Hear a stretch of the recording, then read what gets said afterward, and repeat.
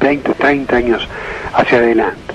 Y saben que una inversión en una fábrica de celulosa es, una inversión muy grande, de más de mil millones de dólares, que no pueden correr el riesgo de instalarla en un lugar que no les ofrezca las garantías a largo plazo. Y lo mismo es válido para la compra de tierras y la plantación de eucaliptos o pinos.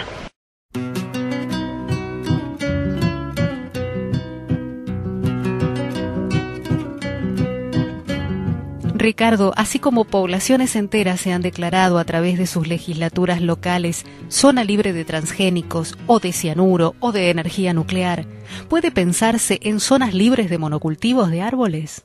No se ha planteado todavía, lo que se está planteando ya es libre de árboles transgénicos, que esa es la otra que se nos viene ahora también, que en nuestro continente hay investigaciones en Brasil y en Chile en Brasil ya hay ensayos de campo, incluso con eucaliptos transgénicos, y es la próxima amenaza que se nos viene.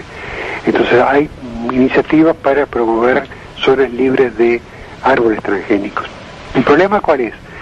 Que las plantaciones de árboles en nuestros países, por ejemplo, un caso muy parecido a Uruguay, la provincia de Entre Ríos, allí el eucalipto es parte del paisaje, digamos, ha sido adoptado como un árbol más brinda apoyo a la ganadería, la agricultura, a la gente, da sombra, etcétera. ¿Cómo diferencia uno un monocultivo forestal a gran escala de una plantación de eucalipto para abrir sombra? ¿Cuál es la dimensión? Eso habría que definirlo. Estamos hablando de mil hectáreas, de mil hectáreas, cien mil hectáreas, un millón de hectáreas, para que nos opongamos.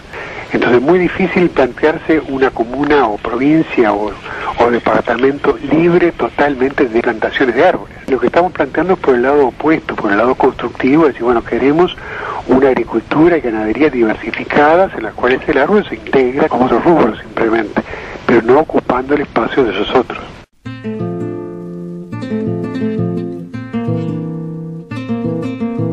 Hace poco más de una semana se promocionó que el Banco Mundial no apoyaría las plantaciones de palma aceitera debido a las protestas y a los reclamos. ¿Sirve esto o es mero maquillaje? Es maquillaje, maquillaje, porque eso lo hacen en algunos casos concretos.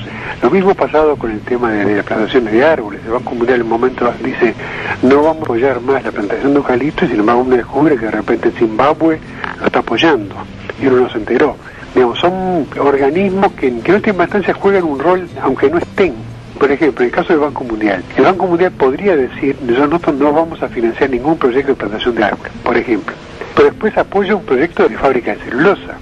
Entonces puede no estar financiando las plantaciones, pero al financiar la fábrica de celulosa está de hecho promoviendo las plantaciones para abastecerlas.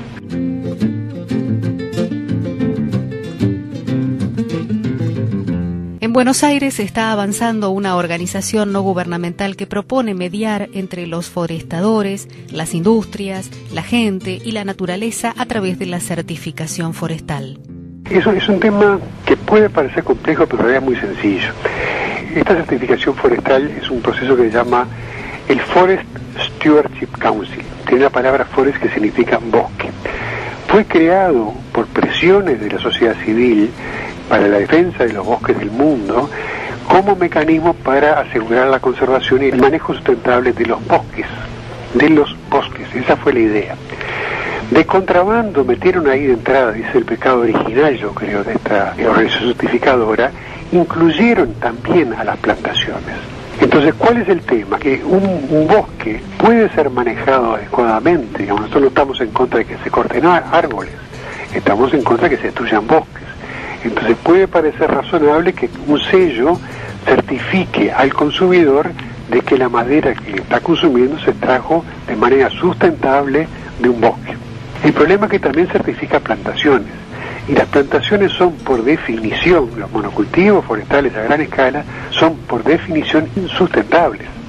Entonces ahí se encuentra con una situación en la cual está, que está siendo golpeado duramente por cantidad de organizaciones en todo el mundo y por comunidades de todo el mundo critican de que está certificando plantaciones.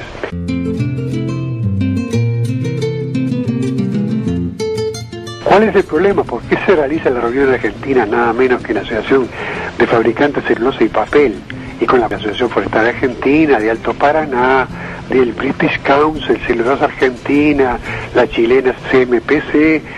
¿Por qué? Y en Argentina nadie, nadie está pidiendo la certificación desesperadamente, nadie está diciendo en Argentina, yo quiero tener madera certificada porque yo no quiero destruir los bosques. Es una cuestión de mercado internacional. Para poder vender madera de mercado internacional tiene que estar certificada. Entonces esto es lo que están viendo las grandes empresas plantadoras de árboles, por ejemplo, Alto Paraná, que es dueña del 10% de la tierra de la provincia de Misiones, el 10%, una empresa chilena, están asegurándose de que un sellito, se le ponga un sellito a su madera para que se pueda vender en Europa o en Estados Unidos. Es nada más que eso, es un, lavado de cara para ponerle un sello a plantaciones que son incertificables de todo punto de vista, porque sus impactos son tan graves que ningún sello serio le, puede, asegurar a nadie que sean sustentables. Entonces es una iniciativa que apunta al mercado exportador simplemente para poder ingresar a un mercado que sin ese sello no podría hacerlo.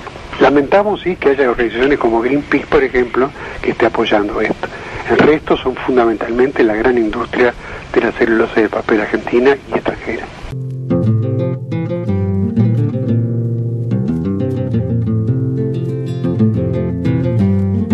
Así estamos, disfrazando lo indisfrazable, que un monocultivo de árboles pueda llamarse bosque y ser bueno para alguien, además de para los empresarios del papel.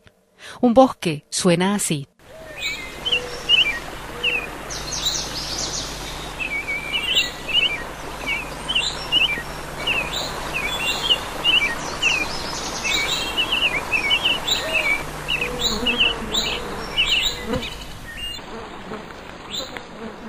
Un monocultivo de árboles suena así.